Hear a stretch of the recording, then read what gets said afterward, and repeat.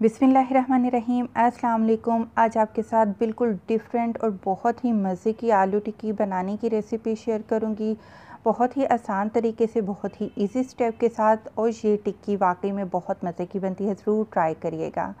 तो यहाँ पर मज़ेदार आलू टिक्की बनाने के लिए हमें जिन जिन चीज़ों की ज़रूरत होगी, उनमें से सबसे पहले जो हमें चीज़ चाहिए वो है उबले हुए आलू। आपने आधा किलो उबले हुए आलू ले लेने हैं और उनको आपने ठंडा करके छिलका उतार लेना है और फिर हाथों से आपने उनको मैश कर लेना है। और कोशिश कीजिएगा अच्छी क्वालिटी के आलू लें ताकि आपकी जो टिक्की है वो मसाला जब ऐड करें तो वो नरम ना हो मसाला और आपकी टिक्की टूटे नहीं। तो सबसे पहले मसालों में हम शामिल करेंगे एक चाय का चम्मच नमक और दो चाय के चम्मच आपने कुटी लाल मिर्च शामिल करनी है। यहाँ पर लाल मिर्च पाउडर का इस्तेमाल नहीं करेंगे। आधा चाय का चम्मच आप हल्दी पाउडर लेंगे, इससे कलर अच्छा आएगा। एक चाय का चम्मच भरकर आपने चाट मसाला शामिल कर देना है। इसके अलावा साबुत मसालों में हमने दो चीज़ें डाली हैं। एक है सफ़ेद ज़ीरा, एक चाय का चम्मच और साबुत धनिया। एक खाने का चम्मच भर कर डालिएगा, बहुत ही ज़बरदस्त खुशबू आएगी इससे। इसके अलावा आपने एक दरमियानी साइज़ का प्याज लेना है, उसको ऑमलेट कट कर लेना है और वो भी हम इसी मसाले में ही ऐड कर देंगे। और दूसरी जो लाजमी और अहम चीज़ है, एक खाने का चम्मच भर कर आपने अदरक को बारीक बारीक चॉप करके डाल देना है। हरे मसालों में तकरीबन आधी गट्ठी धनिया है, एक चौथाई गट्ठी पुदीना के पत्ते, पाँच हरी मिर्चें, बारीक वाली। आपने आधा कप मटर लेने हैं, उनको फुल बॉईल कर लेना है आपने, और वो भी इस मसाले में आपने डाल देने हैं। तो ये है दो खाने के चम्मच ब्रेड क्रम के। अगर थोड़ा बहुत भी मॉइस्चर हुआ आलू में तो ये जो ब्रेड क्रम है, वो तमाम मॉइस्चर को एब्ज़ॉर्ब कर लेंगे, और बहुत ही ज़बरदस्त रूखी रूखी सी आपकी ये आलू टिक्की बनकर तैयार होगी।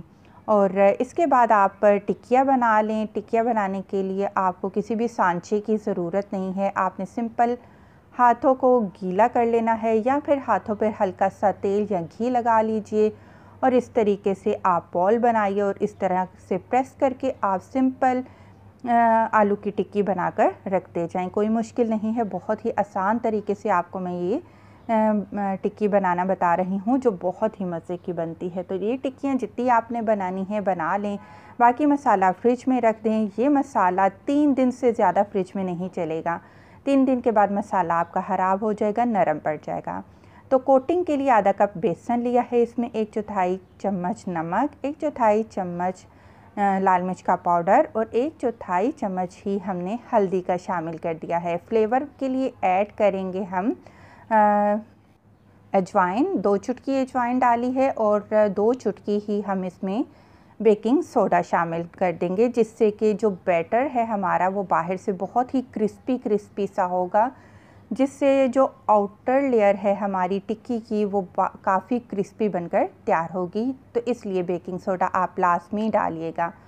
तो थोड़ा थोड़ा पानी डालते जाते हैं, एक स्मूथ सा बैटर आपने बनाना है। बहुत ज़्यादा पतला भी नहीं करिएगा, बहुत ज़्यादा गाढ़ा भी नहीं करिएगा।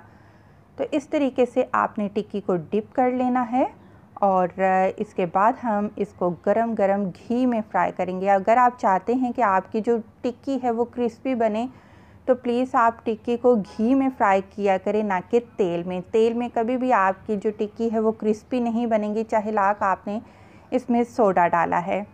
तो इस तरीके से आपने टिक्की डालनी है। टिक्की को पहले सेट होने दीजिए। एक से दम चम्मच अगर हिलाएँगे तो जो कोटिंग है वो उतर जाएगी हट जाएगी।